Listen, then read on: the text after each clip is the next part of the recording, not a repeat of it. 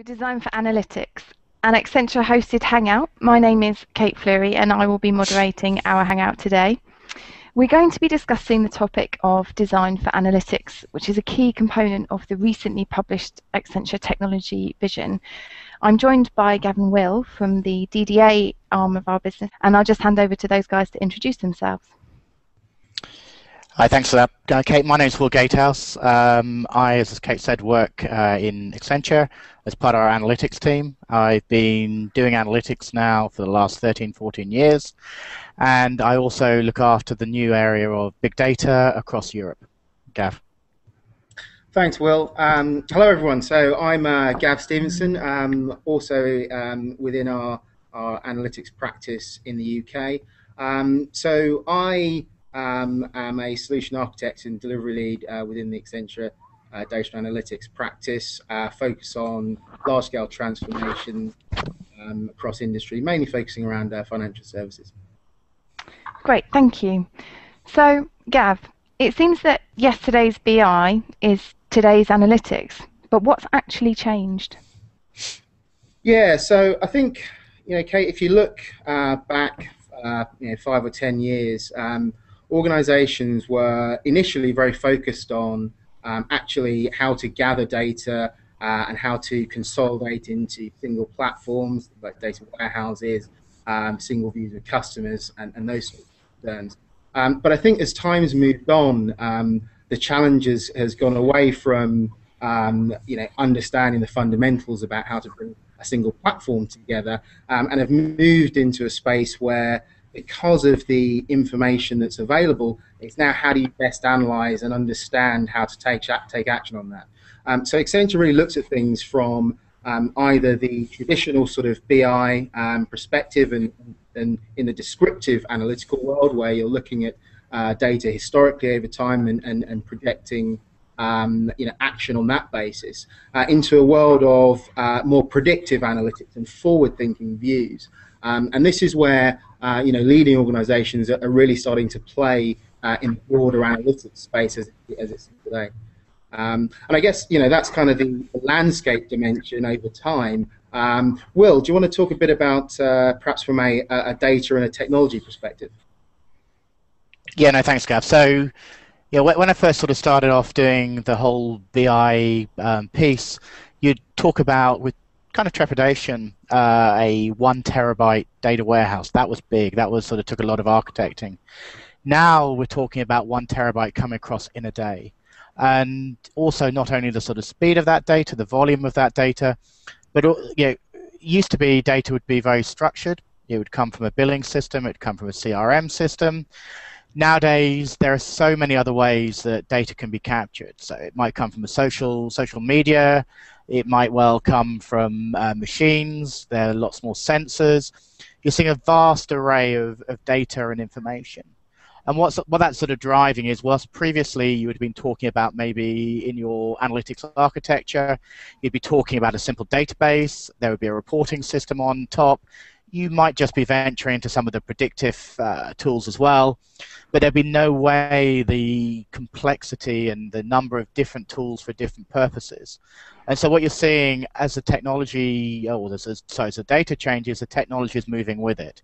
So more and more we're seeing the in-database um, to stop data movement, increase performance.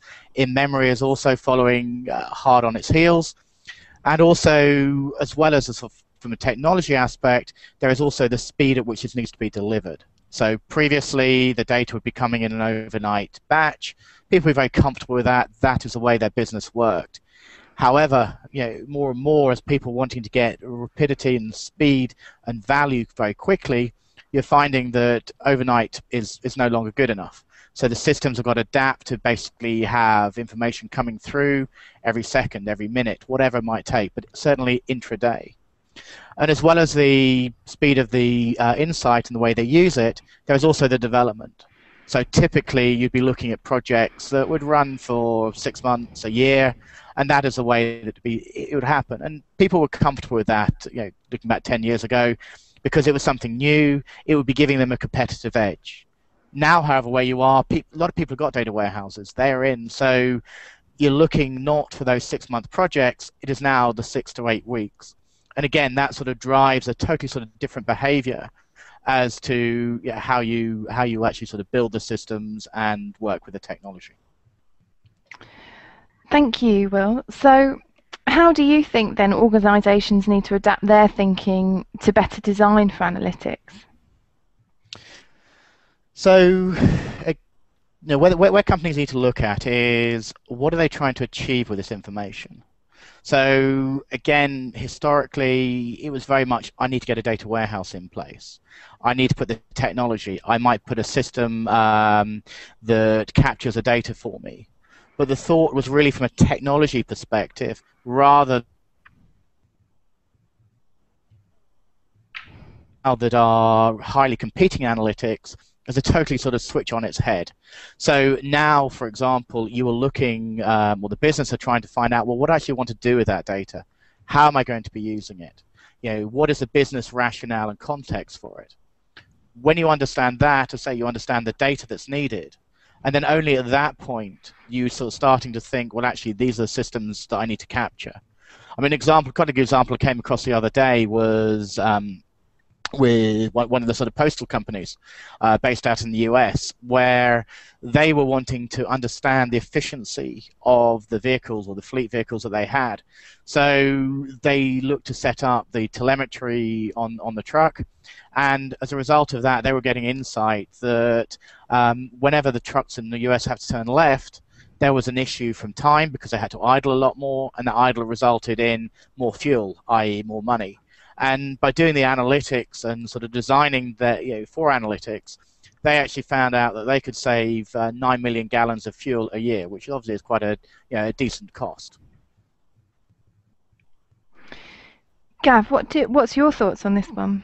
Yeah, and, and, and I mean, just uh, just to, I think to extend some of those some of those points, um, I think the challenge uh, today and, and the way um, organisations need to need to rethink around analytics is that it's we've moved away from a situation where it's about trying to find the data, right? There's lots of data there. Um, you know, building on what Will was saying, you know, actually a lot of organisations have got too much information. They don't really know what, what to do with it all. There's stuff coming in uh, through social media, through sensory sensory devices. Um, internally within their organisation, they'll have reams and reams of information around customers, products, um, and, and various different offerings. Um, what's important, however, um, actually being able to understand the right information that's needed as opposed to just the plethora of information that's, that's out there. And that's the important distinction because you know, if you look at traditional software development and software design, it's based around functional requirements for a given system. Whereas actually, uh, if you look at it from a analytics perspective, you might find that a single application and its functional requirements can be met 100%, but when actually looking at the end-to-end business problem and business question, you might actually need to add additional um, data capture into those applications uh, to harness more information to better address the, the business question. So I think it's about looking at the information values, starting with the business question to understand how your system design needs to adapt in order to capture the right uh, information up front. I think that's one key area. And I think the other part of it as well um, is around actually business agility and uh, the ability to make decisions and actions off of that information. You know, we'll mention the, the data velocity point. So lots of information is coming in when you design these systems, but actually, how do you then take action as a result of that? And part of that is is being able to not only capture but process and then take action uh, based on the information that's that's coming out. And that's I think that's I think another important step. Thank you. So, what do you think are the broader implications of this then? So, I mentioned the example earlier of the uh, postal company. I think the key thing here is for the businesses to understand how they can be disruptive. Yeah, how can they how they can gain market share and how they can sort of um, go against their competitors. Another nice example I saw more yeah in, recently in the retail space was uh, and again a good example of disruption where a retailer could understand where their customer was going through an app that they had uh, put on the phone. So as soon as that person was going into a, co- a competitor's store, what they immediately had sort of coming up was an advert coming from from this uh, company saying, look, if you can get into our, our store, we will give you X amount discount on a certain product line. And then not only was it sort of giving the advert, but also what it was doing was giving a countdown. So the longer it took for that person to get into um, the store, the less of a discount. So again, nice nice example of disruption.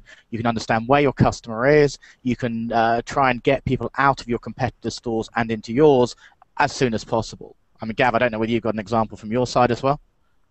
Yeah, I mean, I think um, you know uh, uh, one that's uh, uh definitely uh, out there a lot at the moment is what uh, insurance companies are doing. Um, you know, particularly around you know car insurance, where actually um, you know they're putting devices in people's cars capturing information around driving patterns and driving behaviors that actually allows them to tune and configure and optimize the offers that they're delivering to their customers uh, around you know better premiums based on better driving behaviors. So so there's an example of I guess where you know information is kind of viewed across this uh, you know a complete supply chain right from uh, you know capture and input through to final action and outcome and that's a really key point to, to bring out is is you know looking at information and, and data through a, through a supply chain lens, if you like, um, which will start to give you uh, you know better action and outcome. That's really interesting. Thank you. So, linked to that, with some of the examples that you just mentioned, it seems that we need to capture, store, and process the right information, and that's that's the key point. Um, we hear a lot about big data, but what does it actually mean in the context of analytics? That's a very interesting question, Kate, and there's certainly one that I'm hearing um, from a lot of the clients, CIO, and indeed CEO level people that I'm that I speak to nowadays. I mean, it, it's a question that's on sort of forefront of their mind. They're seeing a lot about it in the press, and they're wondering, well, what does it mean to my business? Should I be getting involved with it? Um, is it something that will give me a competitive competitive edge? And I mentioned at the beginning that in the in the sort of data landscape nowadays it's not just the traditional rows and columns and the structured data, which is very very well handled by traditional data warehouse environments. However, now where we are is we've got data of lots of different structures that, that typically would have been ignored. And for example, if you look at um, all the sensor information, so you've got command centers, operation centers in utilities, for example, monitor the condition of the, the network. Now, typically the way they use it or have used it is if it sends an alarm out, they will react to it. If there is no alarm, then that data just goes into the ether, nothing's used of it. However, there is a lot of richness in that information. So it's very much um, how do you capture? Because you know, with that richness, it's also a lot of volume. That data is coming in at speed, and it has lots of different structures.